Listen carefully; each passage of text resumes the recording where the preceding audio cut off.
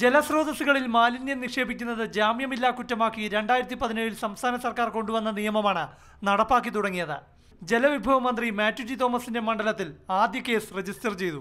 പതിറ്റാണ്ടുകളായി ഇല്ലാതായി കിടന്ന വരട്ടാറിൽ മാലിന്യം നിക്ഷേപിച്ചതിന് ബുധനാഴ്ച തിരുവല്ല പോലീസ് സ്റ്റേഷനിലാണ് ഓർഡിനൻസായി കൊണ്ടുവന്ന നിയമപ്രകാരം കേസെടുത്തത്. നാട്ടുകാരും മന്ത്രിമാരടക്കമുള്ള ജനപ്രതിനിധികളും രംഗത്തിറങ്ങിയാണ് വരട്ടാറിനെ പുനരുജ്ജീവിപ്പിച്ചത്. വൈഡായിട്ട് ഇംപ്ലിമെന്റ് ചെയ്യാൻ പോയി എല്ലാവരെയും പിടിച്ച് ജയിലിടുക എന്നല്ല ലക്ഷ്യം.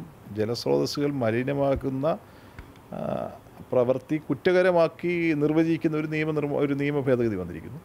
അതുകൊണ്ട് ആ കുറ്റം ചെയ്താൽ നിയമപരമായ നടപടികൾ നേരിടേണ്ടി വരും. വരട്ടാർ പ്രവാറ്റുകടവിലെ പാലത്തിന് മുകളിൽ നിന്ന് ഡിസംബർ ഇരുപത്തിയെട്ടിന് ചാക്കിലാണ് മാലിന്യം പുഴയിലേക്ക് തള്ളിയത്.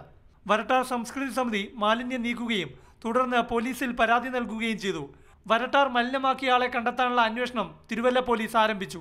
പ്രശാന്ത് കൃഷ്ണ മാതൃഭൂമി ന്യൂസ് തിരുവനന്തപുരം.